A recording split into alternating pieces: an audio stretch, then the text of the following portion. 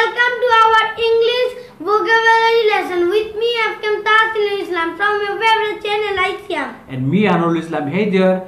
Uh, today in this video we'll be talking about uh, taste related vocabulary. That's in if I say something tastes hot, it may mean uh, spicy rather than not cold, right?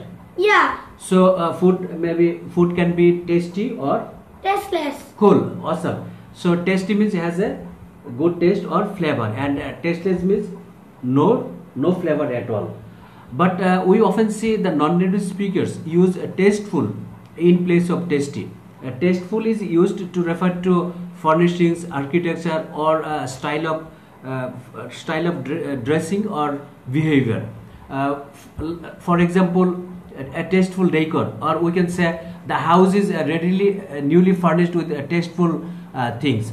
The synonyms are refined, cultured, cultivated, stylish, elegant, uh, pleasing, beautiful, uh, stylish, uh, smart, pretty, etc. Well, uh, what is salty? A lot of salt.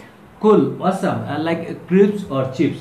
That's it. If I give you a cup of tea with five spoonsful of sugar, so what will be what will be the taste and flavor? Sugary. Cool, uh, sickly. Uh, that's it. If you are served a strong black coffee with no sugar, so what will be the taste? Bitter, bitter. strong.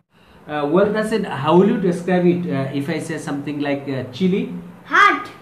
awesome. And then the Chinese cooking, Spicy. uh, pineapple, Sweet.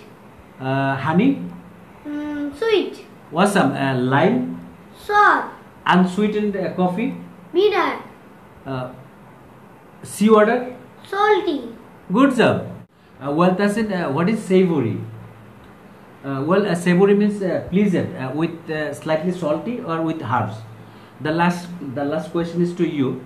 Uh, your dish seem to have no flavor at all. This is tasteless. Very bland.